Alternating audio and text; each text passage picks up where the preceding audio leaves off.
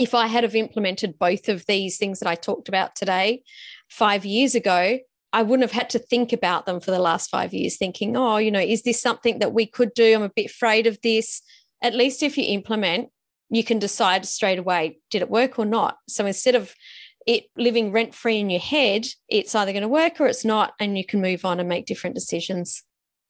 You're listening to the Thought Leaders Business Lab, the podcast for coaches, thought leaders, and change makers who are ready to become the standout expert. If that's you, stay tuned because you're in the right place. I'm your host, Samantha Riley, and I want to help you build a successful business sharing your expertise. Generate the impact and income you need to create your ideal lifestyle. It's time to make a difference and scale up. Are you ready? Let's enter the lab. Welcome to today's episode of the Thought Leaders Business Lab. I'm your co host for today, Samantha Riley, and joined by my lovely Thursday co host, Tim Hyde. How are you today, Tim? I am doing exceptionally well, Sam. Thank you for asking. Do you know, I managed to get that intro with that spitting over my words. You're in a great mood. We're actually recording at a different time. We're recording in the afternoon instead of first thing in the morning. And I think already it's feeling much better. well, you know, we the uh, it's well, we do record at eight o'clock as opposed to let's say a five a.m. start. We don't do it. No, no, five a.m. I might be up at five a.m. sometimes, but it's certainly not recording podcast episodes. Well, I have a I have a, a belly full of baked beans for lunch, so I think I know you were sort of chowing down on the hummus and carrots. Oh yeah. It's exactly what I had for lunch a carrot and some hummus. uh, sometimes the fridge is bare. I know you're off on holidays shortly, so looking forward to that. But today's episode is going to be a little bit of a reflection episode on, mm-hmm. uh, on what worked and, and some of the things that didn't work for us over the last 12 months. And we thought about time that we share a little bit more insight into some of the things that we're working on. And I think, like every business, Sam, we you know, you and I experiment with stuff uh, as much as everybody else does. Mm-hmm, mm-hmm. And actually, before you even go any further, I just want to talk about that experiment. I know, oh gosh, one of the very, very like hundreds of episodes ago, I interviewed Emma Franklin Bell. And one of the things that she talked about was conducting each new idea in our business as an experiment and it takes away the the fear of failure and it's just like well, let's just experiment and see what happens. And ever since she said that to me, and it's definitely something I've taken on board, it's given me more confidence to just go, all right, well, I've got this idea. Let's just see what happens. Let's just have a play with it. Let's see what we could do with it. And it's given me more opportunities by not having that idea or looming over my head. Well, I can't do this because what if it fails? Now it's like, yeah, let's see what happens because I might get the data out of it to do something else that does work. So I think that when you came up with this idea for an episode, Tim, I thought it was great because, you know, as you're listening to this episode, have a listen to what we're talking about and what did work and didn't work because it really is all about experimentation. Yeah, absolutely. If I had known you know, put my future self hat on. If I had known how important those lessons in high school chemistry were about about uh, experiment methodology, I would have paid far more attention. right? What are we going to do? What are the parameters of the test? How are we going to know whether it's a success or not? Uh-huh. Uh, and they do, they do, they do really apply to business because we are testing and measuring and continuing to try and improve our business probably each and every day. Mm, absolutely. Well, why don't we jump in, Tim? It's great to talk about what does work, but I think it's just as important to look at what doesn't work. And we're going to cover this in another episode more around the strategy of how we reflect. But I'd love you to share something that hasn't worked for you over the past 12 months. I think for me, Sam, and this is something that my team and I sort of put in place early last year and, and putting some real rigor around who we would accept in our network and who we would sign as clients. And I think, you know, I know this is very similar for you, but what didn't work for me was saying yes and ex- to some clients who were in Africa and Europe, mm. um, which meant my time zone. I don't know you know some of the hours I was working. Uh-huh. You was, were working you know, insane hours, yeah, Tim. I mean, 12 hours, 12 to 14 hours most days of the week. Mm. And I think probably two things here. A, being really rigorous about my time, mm-hmm. what I would accept as work time and, and personal time. And I think that came from not having a, I guess, really rigorous boundaries about who we were going to work with. Mm. Mm. So possibly a two-part answer there, Sam. I think barriers on my time and barriers on who I was accepting into my network in order to potentially work with in the first place. I think it's that time zone thing is really important to note because in Australia and New Zealand, like any any of us that are sort of down here at the the bottom of the earth, we need to pay attention to what those time zones are like because doing business with Europe it doesn't really play very well. So if you were going to do business with North America and Europe, it means that your day is exceptionally long. I would suggest choosing one or the other or, you know, if you wanted to work 14 hour days, go for it. I'm not saying don't do that, but really good to note that that was something that you didn't enjoy doing. Yeah. And that, look, that's something that I did do. I, I you know, I, I, chose particularly West Coast US mm-hmm. from here in Canberra is usually on a sort of five or six hour shift. So my morning US afternoon, and that becomes quite easy to work with. But once you start adding Europe and, and Africa and and the UK in, you know, we're suddenly starting to deal with another 10 hours the other way. Mm-hmm. And and that would that meant for some very, very, very long days and very tiring days. And yes. I think in reflection, you know, I, I've always been a firm believer that the thing that we as the the owner of the business bring to our business more than anything else is the clarity of our decision making process mm. the clarity of our thinking, the clarity of our direction and our leadership. If I look back on it, I was probably not necessarily making the best decisions for my business just because I was working so many hours and I was quite mentally fatigued as a result. Mm, good insight. What was it for you? I know when we were talking off here before, we kind of almost arrived at a similar mm-hmm. result. But was it the same for you? Yeah, so mine was definitely boundaries on my time, but not so much from a time zone issue. It was the way that I was blocking my time in my week. So I was recording podcast episodes almost every day. Again, a lot of the people I speak to are in North America, which means that I'm recording early in the morning because that's their afternoon. And sometimes because of the East Coast, with them being that three hours ahead of the West Coast as well. Some of those mornings were very early. So recording early every single morning was making me again exactly what you said it was very difficult to make those decisions on a you know on a split second i found that i was starting to get a little bit sluggish couldn't quite process my thoughts as fast as what I normally could and you know maybe stretching my client facing time over too many days. Now i've sort of condensed everything. So now i only record my guest episodes two days a month total not even not just every like one day a week.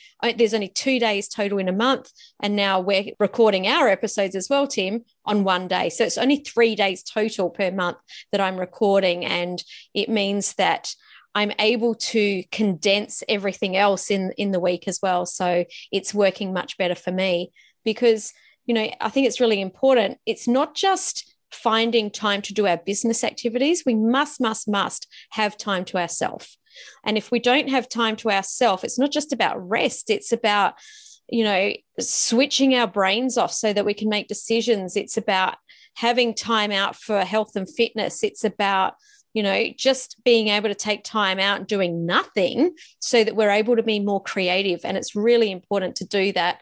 It's something that I've always talked about. It's not new, but something that had a bit of a creep into my calendar. And it can happen very slowly. And then all of a sudden you're like, hang on a minute, how did I let it get to, you know, to this? So it's it's getting back and getting it getting a control, I guess, of my calendar again. Yeah, I know that's something that's really important to you and for many of our listeners is that we have structure.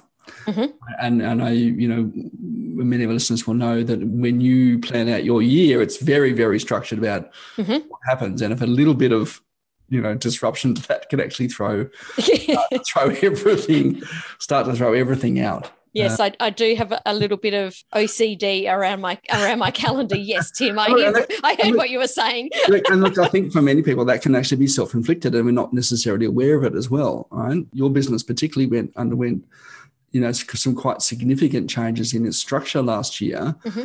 and it was actually you know, it's only on reflection that we actually start to go, oh, actually, I introduced that volatility. It wasn't mm-hmm. an external factor introducing it. Mm-hmm. I introduced that volatility. And sometimes it may not seem like very much at start, mm-hmm. but that starts to oscillate a bit more and a bit more and a bit more. And all of a sudden, everything starts to seem out of control. Mm. And you've gone, oh my God, I'm just carrying too many things in my head. And it's all just that mental clutter. And you just lose that focus and that clarity about what your purpose is. Yeah. And that's the biggest thing that I noticed was I was just unable to be at the level of creative that I normally am. And that's my favorite part of the business is being creative. So to lose that starts to put you in a real different headspace. So yeah, really important to to pay attention to to that. Okay. What about things that did work for you? What's what's one thing that you thought, you know, you weren't really again experimenting. Uh-huh. You reckon made a difference for you? So this one is not this one's something that until we were reflecting, I hadn't even thought of. So I'm going to talk about this, I think, a lot more moving forward because until we were having this conversation, I hadn't even acknowledged it. And that's that this year I shared more of who I authentically am. Now, I always share who I am for real, but what I did is brought in more of the things that I normally keep under wraps. So there's a big woo woo side of me, or as some of my some of my friends in my mastermind say, "Oh no, it's just one woo, not two woos. I'm just woo," because I have a real good good lot of strategy that goes with it. Yeah. But I started sharing with my with my clients weekly energy forecasts. I talk about human design a lot more. I talk about the solar transits and I talk about it in relation to the energy that's happening, how our clients might be reacting, how the world's reacting, things that might be coming up, up for you as a business owner. I never used to like sharing these things before, even though I've always believed in this. I'm very intuitive and, you know, I'm very spiritual. But because I am very strategic, I was scared to share it because I thought that people would have a different perception of who I was and that maybe that I might not be, you know, as and I put it in air quotes as business oriented as some people. But yeah. in actual fact, by me sharing that this is all of me, the people that are in my world now are like, wow, we get onto a weekly call. And the first question is, what's the energy forecast this week? Before we get into the strategy because my clients are starting to understand how the energy is affecting us as business owners and the people around us and how knowing this before we put our strategy together is super helpful. So this i'm going to put this as a massive tick and a massive win for me. Yeah you will have uh, if you're listening to this podcast for a while um, you will notice certainly that sam talks a lot about what's the energy doing right now? Uh-huh. Even, even on our podcasts with someone as less woo. so I'm one woo. Uh, you're a quarter woo or I'm less. A quarter woo, maybe just an ooh. maybe you. I was going to say maybe you're a woo. one or other, but yeah, you'll, you will see that, and I think it's important. I, uh, you know, my experience with that, and it's something that I do want to do a lot more of myself over the next 12 months as well. I was interviewed at a mastermind recently um, that I'm involved with. You know, quite some some quite insightful questions about you know why I do what I do and, and some of my background and stuff like that. And it was interesting that a lot of people came up to me afterwards and you know I got like hugs and stuff like. just this this is ability this you know to connect on things other than what it is we do for clients. You really looked shocked then when you said you got hugs and stuff. Is this not a normal thing for you? You're no. not a, a, hugger, or it's not the, no, the. Apparently, I'm quite intimidating in person. well, you are quite tall. but yeah, like it was, it was just this, I guess, this ability to connect. And I know, and I've, I've been noticing it a, a, lot more when I read other people's content or, or see them share videos you know when they when they're sharing their business content it's just like well that's just more business content but when they actually start to share more of their motivations and their kind of insights and their you know what's going on with them it actually I, I find I'm, I'm noticing myself being more resonant and more connected to them mm. as hmm. as an individual, and and you know liking or in some cases disliking um, you know that person more. Mm. Now, that's really important. Well. I was going to say exactly that. That it's not just about mm. attracting the right people. It's also about saying, "Well, this is what I stand for," and if it's not for you, that's great. I don't like the word repelling. I think that's quite a strong word, but it's about you know really drawing that line in the sand, and and it's either this is for you or it's not for you. That's right. Yeah, I like it. So, what's the number one thing that has worked for you this year, Tim? Look, I'm going to say it was has been profit firsting my business. Profit firsting. Now, if you don't know of Profit First, it's a, it's a book written by Mike Michalowicz or Mike a Motorbike. Mike Motorbike. yeah, he even says that himself. He's like, you can call me Mike Motorbike because Michalowicz might be too difficult to say. Um, so, Profit First is a is a, a theory around that sort of debunks a little of the traditional accounting method, you know, that, you know, revenue minus expenses equals profit, right? Um, well, in this case, profit is, you know, profit minus revenue equals expenses. And so mathematically, the formula still, the still, the formula still works, but it's a, it's a basis that, that how you organize the revenue in your business into different buckets for different things, right? So mm-hmm. that you've got your OPEX, that you've got your revenue account, you've got your owner's compensation, and, and you've got your profit. And the idea being that of the revenue you earn, you start paying yourself a profit first and putting it aside so that you don't get to the end of the year and your accountant goes and says, well, you know, you've made a $30,000 profit or a $50,000 profit. And you're like, where's the money? Mm-hmm. where's the actual cash, right? and they're going to go, but it's here on paper, right? this is the accounting profit. So it's a really interesting thing, and I, I I think it's probably you know increasingly for me one of the the business books that I would recommend people get because I've found that it's actually allowed me to pay myself more regularly, put money aside that I can say that is the profit that my business is making, which is mm-hmm. what our business is ultimately for, but also put a cap on what I spend, what I spend. Because mm. for so many business owners, and and um, you know, this is certainly where I started it was like I had a tax account and I had a an, an, OPEX account, right?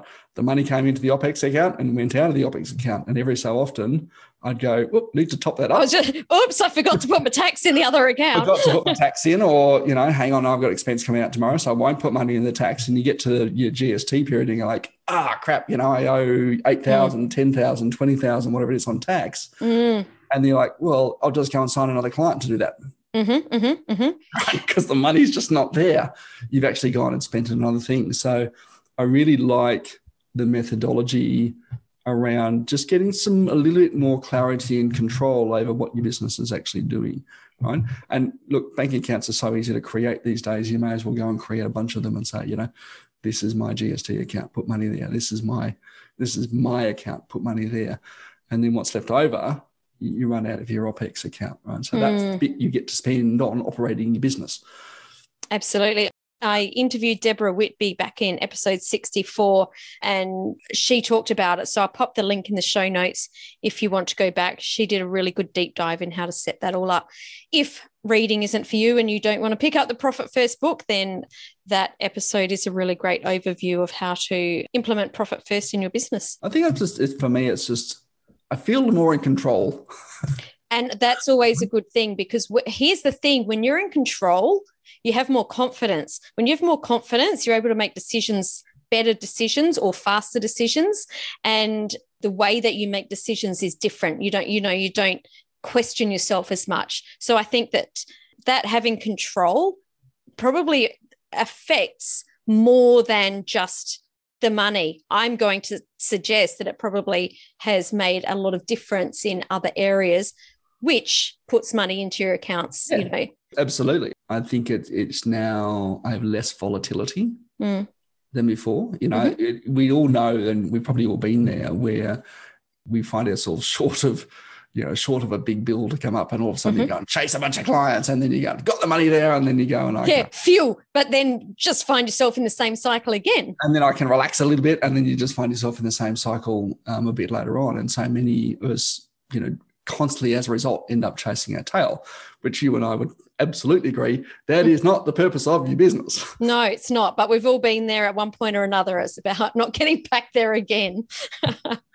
Absolutely. Yeah. What's one nice. thing? What's one one thing that's worked for you? When you said sharing more of you, but what's mm-hmm. this? This second one is definitely the thing that's made the biggest difference in my business in a long time, and it's something that I'm being interviewed about a lot recently, and that is making the decision last year, exactly a year ago, June 2020, to and I did it, started it just as a trial, but I trialed allowing my clients to have access to my implementation team. How big was your team hmm. originally? so right? we had a team Let's of, go back to January 2020. How big was your team at that point? Okay, so January 2020 was two because it was just not including yourself. Just two. I remember in February we were on the road and I remember hiring who most of my clients and you would know Ethany, my amazing, amazing team lead. Thank you. I was like, what is she? She's just amazing. She's my project manager. Um, and my brain. She almost is my brain. We hired her in February, so there was just the four of us. Who was who was on team before then? What were their roles? We had uh, audio editor. Yeah. As a freelancer. Mm-hmm. And one project manager who was full time. Okay. That was it. Really, you project manager and, and part time. Yep and then Ethany comes on board. Ethany came on board. And then the way that we started to grow this team, and this is really important because you don't go from zero to hero overnight, right? Yeah. We started bringing team on freelancer capacity and as part timers. That's how we started going because I, I wasn't confident enough to bring people on full time and I also didn't want to be letting go of people really quickly because remembering that this was an experiment for us. Mm. Um, so we brought on part time a designer and we brought on part time a content writer. And then within a month, that had turned into two content writers, two designers. Yeah, anyway, we've got 14 now people in web, people in active campaign and we still have freelancers still have freelancers doing um, different bits and pieces. But that happened over you know those first probably four four to five months they started coming on. So bringing on implementation for my clients was the best thing i ever did because what i realized was the biggest sticking point for them was implementing what i was teaching. So rather than try and drag them along harder, it was like, how can I make it easier for them? Mm. And this was the answer. I already had the systems in place to run my team. I already knew how to train them. I didn't have to train my clients to train their team to implement what I was teaching. Now it was the training was in place, the systems were in place. Let's just roll this out and scale it. And that's what we've done. Yeah. I had a really brilliant question there, and now I've forgotten what it was. It'll come back to you. It'll, It'll come, come, back, to you. It, it was the, those first few months, and and even still, you know, in our team meetings, a bit, you know, we still talk a lot about. All right, well, what didn't didn't work this month? What didn't work? But those first three months was I was seriously living life by the seat of my pants. Creating the systems to get that up and running was huge. And there was a few nights where I cried myself to sleep and wondered what I was doing and had I lost my mind because no, no one likes to let people down, right? Yeah. Not just your customers, but your staff as well. It's yeah, that's right. There's so many people now that that are you know are relying on you on both sides of the fence.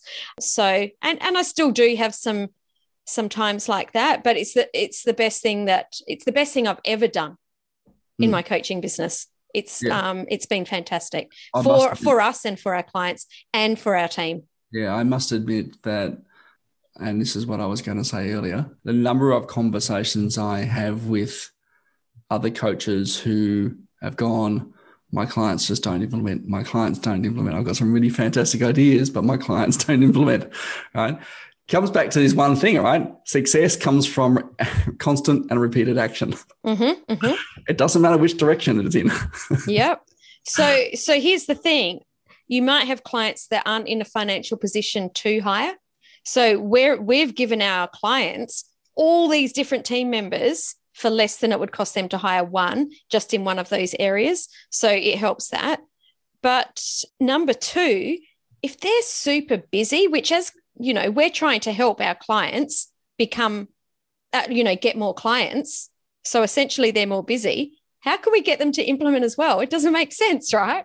Yes. So it just, yeah, I, I, can't believe I didn't think of it sooner, but we got there. So that's definitely the biggest win in our year is is creating implementation team for our. I clients. think this is this is something that you know as coaches and consultants that we need to think about. We we're good at our area of expertise, but our client success ultimately comes from their ability to implement.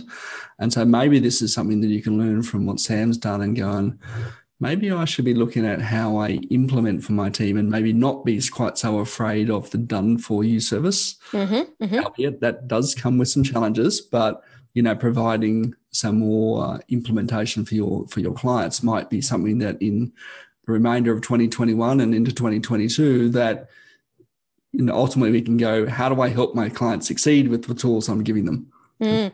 and in a completely different way of looking at that if you're in a position now where you want to grow your business and you're unable to hire all of these people, then come see me because we can help you to implement what needs to happen so that you can grow your business so that you can do this for your clients down the track. Yeah, absolutely. Ironically, that's almost identical to the other thing that worked for me last year. Where our wins are almost and our our not so wins are almost mirrored. Tell us more about. Yeah, so I I entered 2021 with one part time VA who I had employed to help with the number of conversations that I was having. Right, I was getting to the point where I was finding I was spending sort of four hours a day just you know on text, uh, mm-hmm. chatting with people on, on Facebook or on, on LinkedIn and having and having conversations. And I looked at what conversations were working and what wasn't working and started to systemize a lot of those conversations and training up my VA Serena to manage those for me. And I swear she has better conversations than I do sometimes. All right. But I think late last year, probably around July, August, I thought, okay, well, you know, if I want to grow this business, what's the next thing that I have to do, right? You know, where is the area of my business that's taking up a lot of my time that I'm probably can do, but I'm doing just because I can do it. Mm. Uh, and I brought on three full time staff in the space of like six weeks, mm-hmm. which I'm like probably like you, but Sam absolutely terrified me. Mm-hmm, mm-hmm. I'm like, oh my it's god, it's scary. It is it scary is, right? because you know I, I, didn't necessarily. I mean, I had the revenue to pay for it, but you know. The revenue wasn't expanding straight. It doesn't expand straight away. That's exactly right. It's got to come from somewhere, and it was coming out of my pocket. Mm-hmm. Right, it was coming out of my owner's compensation bucket. Mm-hmm. I like, okay, well, look, if I want to do more, okay, yes, I can now free some time up. But you know, if I reflect on it now, like I had maybe 50 or 60 hours a week that I was doing previously. And now for very little extra expense proportionately, I've now got, you know, 160, 200 hours a week worth of effort time that I can put into my business. And I think that's made a massive difference mm. to the stuff that I do. Mm. Just even just some of the, you know, thinking the time consuming, tedious, the five and ten dollar tasks, I can say, you go and do that now. Mm-hmm. And that's made, you know, that's made a pretty significant difference. Yeah, absolutely. Right? absolutely. And as much as it scared me now, I don't think that's something that I would ever consider taking back if I had my magic time machine. Mm, absolutely. so we've shared some of these things with you today so you can not just hear what has worked and hasn't worked for us but so that it can get you thinking is this you know what has this inspired in your mind how you can change your business what you can experiment with or maybe what's not working in your business right now? What is the one thing that you want to leave or what's the one thought that you want to finish this episode with tim? Look i think if if there's any thought that we we should take away from this is that it's probably don't be afraid to take action on something Mm. because the sooner we make a decision and take action on it, the sooner we can discover whether it works or doesn't work or needs to be tweaked and realigned, right? Based on our experience. If we don't make these decisions and we don't try stuff in our business and take risks, right? That will will never grow. We'll never move. We'll always stay where we are, and we'll probably just eventually, you know, dwindle away and diminish. Mm. Yeah, for me, it's definitely the same. If I had have implemented both of these things that I talked about today five years ago, I wouldn't have had to think about them for the last five years, thinking, oh, you know, is this something that we could do? I'm a bit afraid of this. At least if you implement, you can decide straight away, did it work or not? So instead of it being living rent free in your head, it's either going to work or it's not, and you can move on and make different decisions. Mm. Yeah, definitely. So if you've got value from today's episode, I'd love you to think who else is there in your world that would get some value out of what we've talked about today? If you're on your phone, scroll up to the top, hit that share button, and share with just one other person in your world uh, so that they can get value from this too. Tim, it's been a pleasure. Absolutely. Thank you for listening. Look forward to seeing you on the next episode. Ciao, ciao. Today's episode may be over, but let's continue the conversation. Head on over to the Thought Leaders Business Lab community on Facebook and connect with other entrepreneurs who are building and scaling their business too. See you next time in the Thought Leaders Business Lab.